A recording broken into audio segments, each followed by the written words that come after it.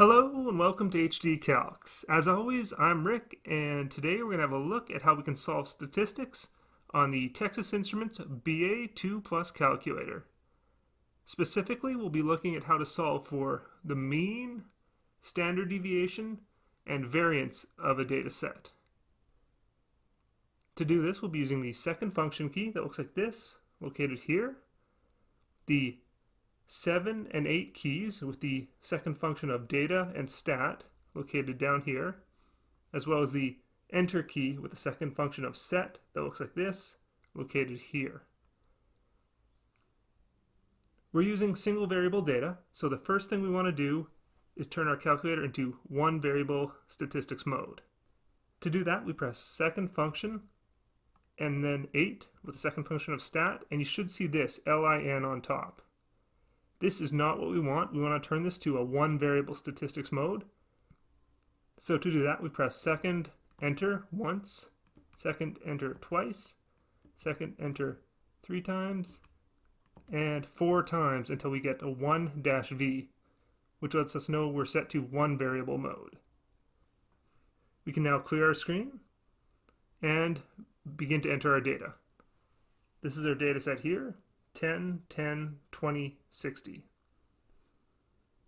These can be counts, weights, whatever we want it to be that we're looking for our statistics for. To enter them, we press second and then 7. We see x01. This is where we enter our first piece of data. Well, for us it's 10, so we enter 10. Press enter. There we can see x1 equals 10. And then if we go down, we see a y equals 1. This, if we were doing two variable statistics, is where we would enter our y variable. But in this case, we can enter our frequency here.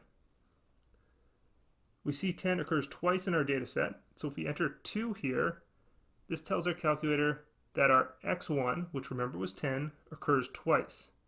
So we don't have to enter that 10 in twice, or three times, or four times if it occurs that many times. So we press enter, go down. Now we have x2, which is our second piece of data. Remember, we already entered the 10 because we entered it in as occurring twice. So next we have 20. Enter, go down, and our y2 will leave as 1 because it only occurs once. And down again, our x3 is 60. Press enter, and we'll confirm it's in there only once. Looks good. All right, our data set has been entered. We can now hit clear to go back to our main screen. We're now ready to calculate our stats and see what we get. So to do that, we press second function, 8. There's our 1v, so remember we were in one variable stats, and then if we press down, the first thing we get is n equals 4. This is saying the number of variables that we have in our data set is equal to 4 which, 1, 2, 3, 4, as we can see, is correct. If we press down again, we get x bar is equal to 25. This is the mean of our data set is equal to 25. Down again, we get big sigma x is equal to 23.804. What this represents is the sample standard deviation of our data set. We can also calculate the sample variance of our data set by squaring this number with the x squared key. And we see we get a sample variance of 566.666, etc. Press down again, and we get the small sigma x, or the population standard deviation, of 20.6155, etc. And again, we can calculate the population variance by pressing the x squared key, and we see we get a variance of 425. If we press the down key again, we get a sum of our variables, which equals to 100, which 10, 20, 40, 100, yep, makes sense.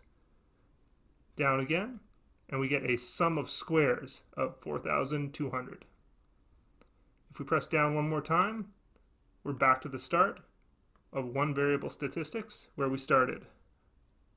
Once we're done, we can press clear to go back to our normal operating mode and we're good to go. Once we're done working with our data set and we want to clear it so that we can enter a new data set, what we want to do is press second data so that we're back to this screen. And then if we press second clear work, all entered data has been cleared and we're ready to enter a new data set. All right, I hope this helps and good luck on those tests out there, everybody.